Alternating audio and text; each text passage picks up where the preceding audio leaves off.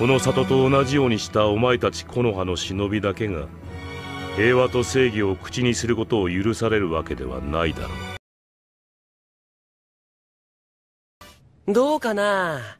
あんたを引きつけるだけ引きつけといてその隙にみんながちょっとずつ抜けるってのもありかと思って。入院だよ。安心しなよ。そんなこすいことはなしだ今度は俺から行くからさ。